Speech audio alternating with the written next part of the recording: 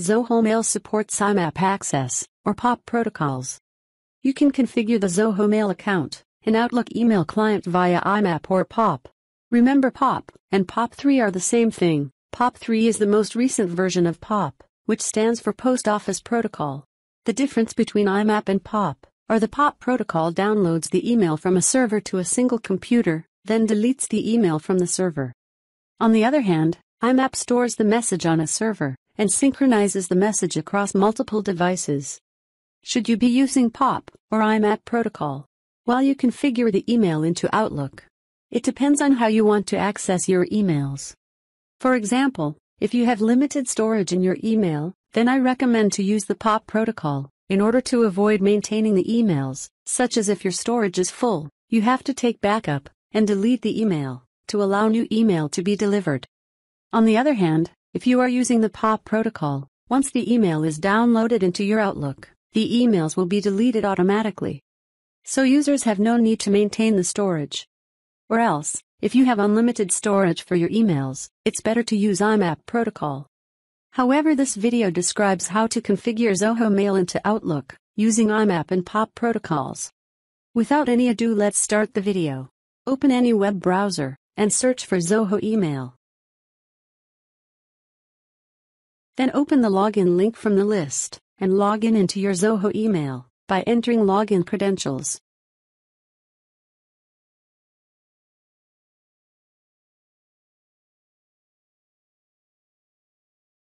Once the user logs into email, the web interface will appear, as you can see on my screen. To find the available memory for your email, please click on the profile icon. A side window will appear, where the user can find the available memory for the email provided by the Zoho, up on your subscription. As you can see I have only 10 gigabytes of usable space for my email, which is already 80% used. In order to make my memory free without losing any email available in my inbox, or Outbox. Here is the secret, that I should configure my Zoho email into Outlook through the POP protocol.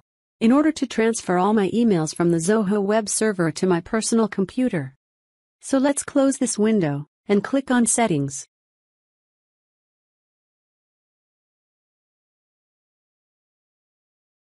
A pop-up window will appear. Scroll down the menu, and select Mail Account. Here users will have the POP and IMAP settings. Scroll down and enable the protocol as per your requirements in order to get the access for Outlook client in your PC. To enable it, click on the POP Access checkbox and then select the below options. If the user wants to transfer all the emails from the beginning, please select all the emails, or else select the email that arrived from the date. Then select Include Spam Folders. And then select Auto Delete Emails, if the user wants to delete the email automatically when it's downloaded to Outlook. If the user wants to use the IMAP protocol, please follow the steps. Enable the IMAP access by clicking on the checkbox. Then select Auto Expunge Email. If your email has two-factor authentication enabled, then you will not be able to get connection between Zoho to Outlook. The user has to create an application-specific password in order to get the access for Outlook. To create the password, Please click on Learn More option. Once the user clicks on the Learn More option, it will redirect to the Zoho Mail Access setting. Scroll down and click on Zoho Accounts.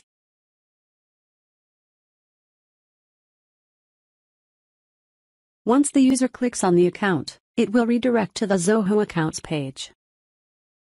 Here select the Security option from the menu.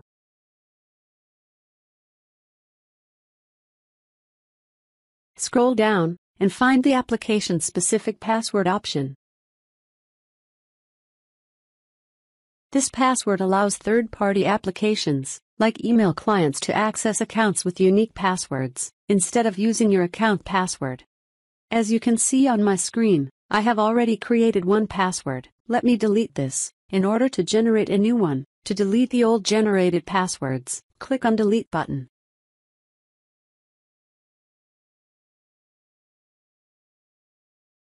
To generate a new password, click on Generate New Password. Application-specific password window will appear. Enter the application name you want to set the application-specific password. You will only be able to access this app with the configured application-specific password. Enter the name as Outlook, then click on Generate. Once the user clicks on Generate, a new password will appear on the screen. As you can see here, copy this password. For the security reasons the password will not be displayed again. Once the password is generated, it's time to configure the Outlook. To do that, go to your computer start menu and search for the control panel. Then select the Mail option from the list.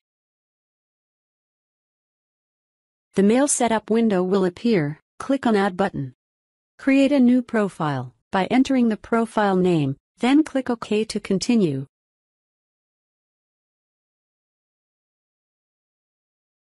Once the user clicks on OK, a new pop-up window will appear for further configuration. Select Manual Setup or Additional Server Type option, then click Next. Then choose Service, such as POP or IMAP, to connect to your Zoho email. Then click on Next to continue. POP and IMAP account settings. Enter the mail server settings for your account. Enter the following details. Enter username as per your email. Then enter your Zoho email address.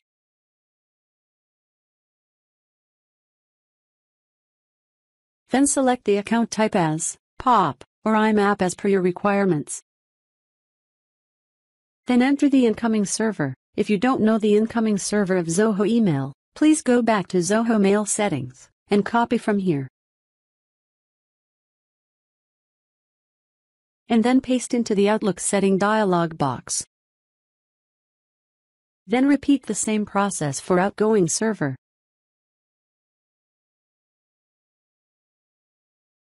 Then enter logon information. Enter username as your email address. Then password as the newly generated password. Then select a new Outlook data file. Or else if you have any existing data file and you want to use the same, please select Second Opinion and click on More Settings. Internet email settings appears. Go to the outgoing server option and select the checkbox, My Outgoing Server, SMTP, requires authentication and also select Use same setting as my incoming mail server. Then go to Advanced Settings, Server Port Numbers, copy incoming and outgoing server port number from the Zoho page, and paste it here accordingly.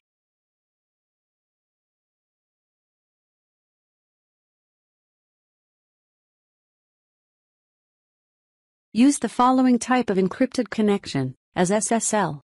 By default, when you retrieve new messages from a POP3 email account, the messages are deleted from the POP3 mail server and then saved on the computer that you are using. Because the message is no longer on the POP3 mail server, you can't see it when you connect from another computer. If the user wants to keep the emails on the server for a few days, please select the below options, or else uncheck the box, in order to delete the email immediately from the server, once it's downloaded into Outlook. I don't want to keep any email on my server, so I will uncheck all boxes. Once all the settings are completed, please click on OK. Once the user clicks on OK, Test Account Settings window will appear.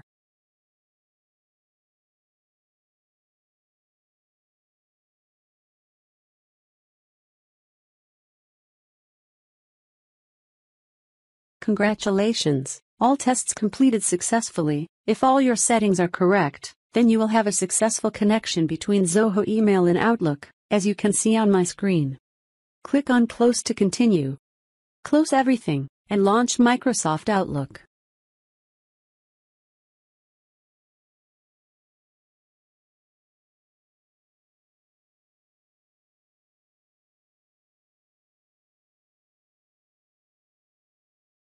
As you can see on my screen my email address is configured into Outlook. Once the configuration is completed, all the emails will be transferred to your Outlook. Make sure you should keep power on your computer until the process is completed. There might be a chance to block your account by Zoho while you are transferring huge data from Zoho to Outlook. You don't need to worry, if your account is blocked in this process. Please send an email to Zoho customer service in order to unblock your and continue the transfer data. Hope you understand how to configure Zoho email into Microsoft Outlook account. Thank you for watching this video. If you need any technical support, please join our membership portal. Don't forget to like, share, and subscribe to my channel.